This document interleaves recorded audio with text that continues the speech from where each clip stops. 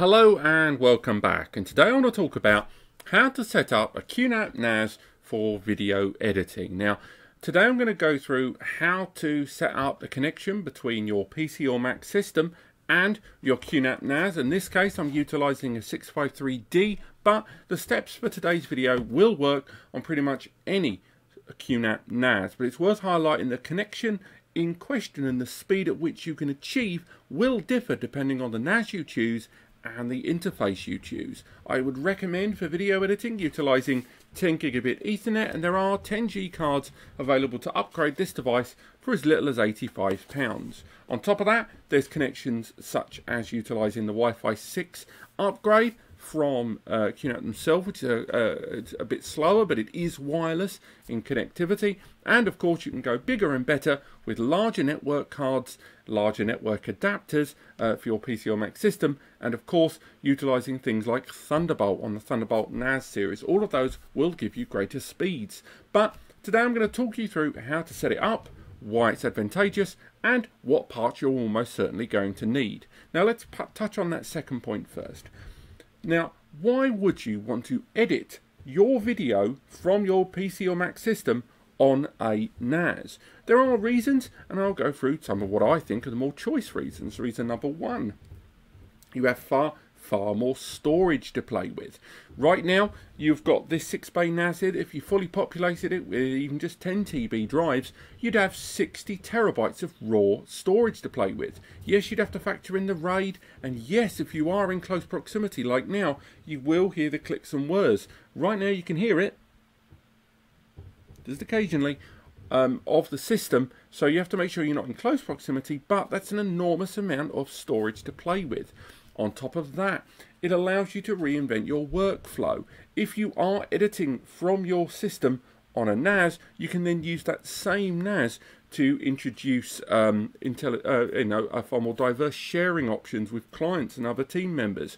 They can take care of the smaller things, screen grabs, metadata, packaging of the data in a way of the completed product um, to be utilized in your home or business environment for uploading and sharing where necessary. Also, things such as nonlinear editing or NLE have led to the idea that when you edit files on the PC, the maintenance and the keeping the historical data that you edit will still be maintained on the NAS. And thanks to things like snapshots in the background and multi-tiered backup strategies and the ability to revert data a great deal better on NASes, it means that if you do make mistakes or want to change a file back to a previous version, it will be a great deal easier on a NAS. But it's not all perfect. There are reasons why editing on a NAS might not be for you. Um, if you do edit on a localized, say, NVMe SSD inside your system, then the speed you get from that NVMe will surpass that of a thousand megabytes per second. Oh, it's just booted there. Now, the speed you get of that NVMe may be very, very, very fast indeed, but it is also worth remembering that NVMe SSDs are exceedingly expensive. Even a one terabyte will cost more than most smaller 2 to 4 bay NAS devices if you go for the more Enterprise Pro series. Obviously that doesn't include drives though. You can go to 2 TB and big, but uh, bigger, but if you are looking at say 4K video editing, most completed 4K projects of over an hour are absolutely huge. And if you do have to keep a large record of your files, chances are you won't keep them here. You'll keep them off-site, perhaps on a connected NAS or on a DAS system. So if you're going to go down that route of editing externally anyway, NAS is a good way to go about it. But let's talk about the parts. Let's talk about what you may need. Most NASs arrive with 1 GBE or, in the case of more modern NAS solutions, greater connections than that. You're going to need to at least utilize 2.5 or, 4, or 5 GBE in order to edit video. They're just too big a file to have to be editing on even granularly within the file. Hence why I do recommend 10 GBE overall. Now, in order to connect to your system, if it is a wireless system, such as a laptop, to these kind of devices, without you know having too many wires or you're using a system where you can't upgrade the interface ports you've got two core options. The first is utilizing USB adapters such as QNAP's very own USB 3 to 5 GBE connection. This allows you to open a 5 gigabit Ethernet connection between your USB system and a connected NAS, not just QNAP either, and it allows you to edit up to traditional SATA SSD speeds via this connection. On top of that, there's also Thunderbolt to 10 GBE connections. Now this is Sonnet's solution, known as the Sonnet Solo 10G, but QNAP have their own range of 10 GBE to Thunderbolt solutions in both one and I believe two ports coming soon. Um, it arrives in copper and fibre based connections and are all bus powered. You simply connect the Thunderbolt connection to your PC or Mac system and then directly connect to the PC, uh, to the NAS system, like so. So connect your Thunderbolt connector and then on the other side, take the network connection of your NAS and connect it in like so. And as you can see, after a while, you heard that beep there of the Thunderbolt connection being recognized. I will now be able to connect directly to this NAS system. And from here, we can then set up the files and folders in a way that the system, my PC in this case, will be able to edit those files live. So what we're going to do now is we're going to make the switch to my screen here and I'm going to show you guys how to map a network drive uh, with a shared folder and to set up the NAS in a way that photo editing software such as Final Cut, Resolve, Adobe, PowerDirector and more can all interact with the NAS for video editing. Let's make our way to the screen. So as obvious as this first step is going to be, make sure you've got your NAS set up completely. So make sure in the case of QNAP that you've downloaded that QFinder tool from them. It's completely free and it's available for Mac and PC systems. If you've set up your NAS for the first time, um, go ahead and make your way into it like so. And you'll get the login information there on screen and log into your NAS. Now for those of you that haven't set up your NAS yet, do find some of my guides online where I can talk you through exactly how to set up a QNAP NAS for the very first time. From here we're going to be doing several steps. We're going to be going ahead and creating a brand new shared folder on our NAS and then we're going to go ahead and mount that shared folder on our local PC here in order to make sure that we can interact with it. You can ignore that message on screen about the file system not being clean as I've pulled these drives from another NAS just for the case of this video. I recommend you make sure your data integrity is kept in check in the background and there's lots of ways to do it. But now you're on the main desktop here of your NAS, the first thing we want to do is head to the control panel. From the control panel, we want to go ahead and create a brand new user for our video editing. So if we go into the users section here, what we want to do is create a new user that we can default to to do our editing. We can use the admin account if we choose, but I recommend keeping the admin account clean and unconnected to other services. So now we're going to create this new user. This new user we're going to call video edit and give them a fairly standard password. Unfortunately it's telling me that password's not strong enough.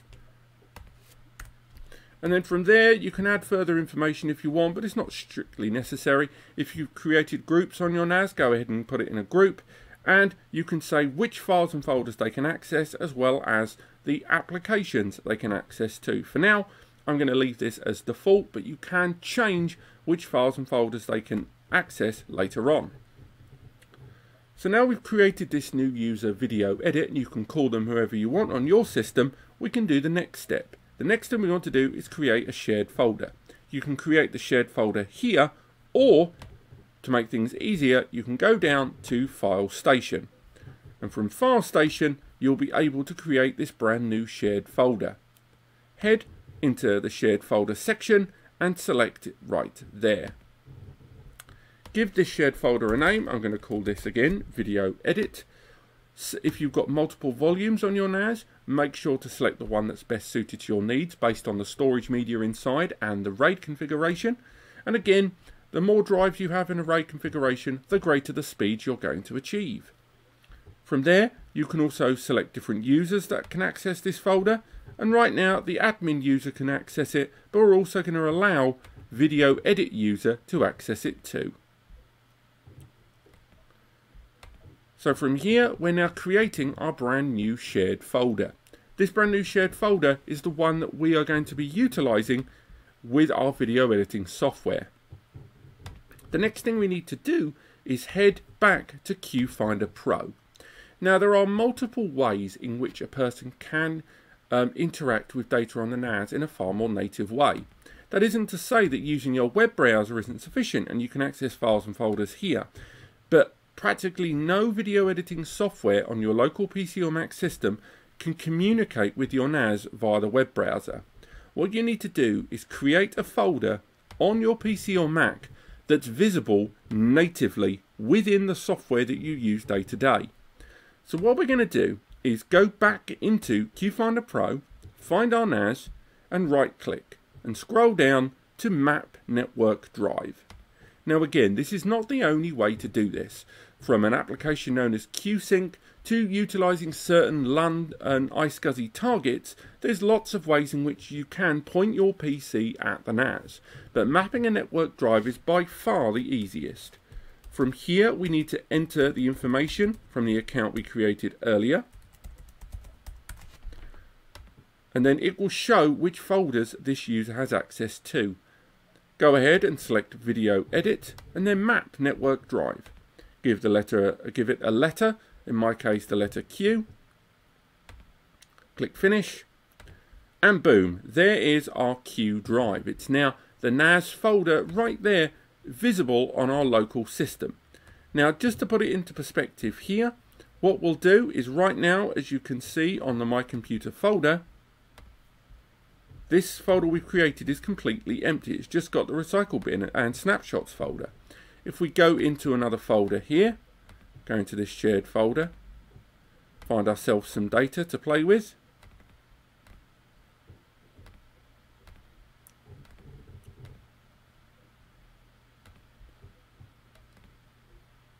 We've got different files and folders there.